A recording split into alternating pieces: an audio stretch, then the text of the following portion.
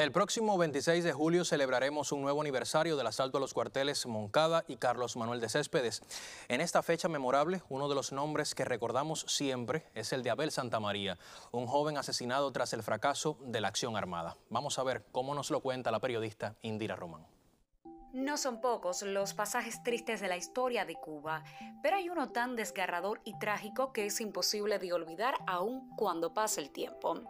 La historia del hombre que le arrancaron los ojos en medio de una brutal tortura y que fuera asesinado tras los asaltos a los cuarteles Moncada y Carlos Manuel de Céspedes es un testimonio doloroso, y más si se trata de un joven.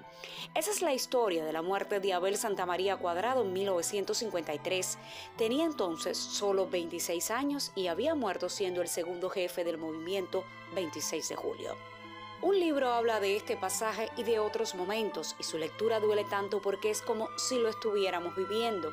Hay que defender la vida son textos de Aide Santamaría compilados por Jaime Gómez Triana y Ananiria Albo Díaz, Aide, la hermana mayor y muy querida, a quien le mostraron los ojos de Abel, y eso la marcó de por vida.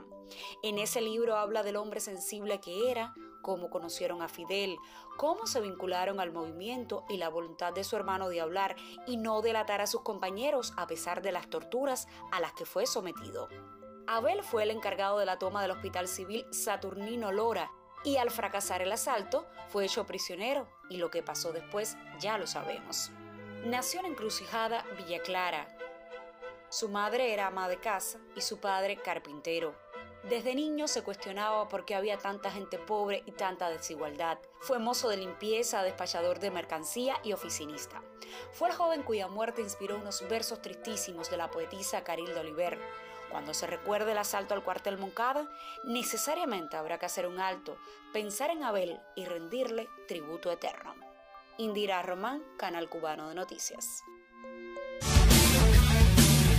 Súmate a nuestro canal en YouTube y si te gustan nuestros contenidos, da like, coméntanos tus ideas y comparte con tus amigos. Ay, no olvides darle a la campanita Así la plataforma te notificará cuando subamos un nuevo material.